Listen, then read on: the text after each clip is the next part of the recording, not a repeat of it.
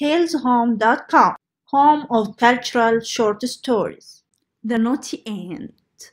This is one of the short stories that tell about certain Bella. Bella was a very active ant.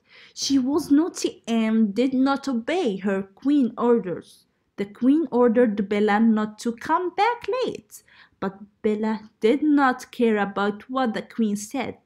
One day it was stormy and very cold. Therefore, the queen ordered all of the ants of her kingdom to come back before the sunset. Bella did not care as usual and did not come back to the kingdom. The queen ordered the guards to shut the gates, and at this moment, Bella came before the gates. The guards refused to open the gate, obeying their queen. Bella started walking in the dark street.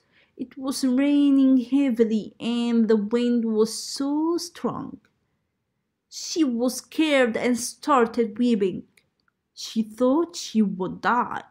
The queen was watching Bella from her window and decided to forgive her.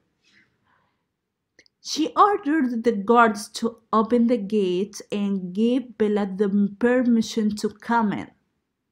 Bella rushed toward the queen's hug, weeping, and said, Forgive me, my queen. I forgive you, my sweetie. I'm your mom, not your queen. I did that to teach you that you should obey the elders because they know much more than, than you do home of cultural short stories. I will never do this again. Bella was taught a lesson and decided to obey the queen always. She lived happily with the queen and the other ants.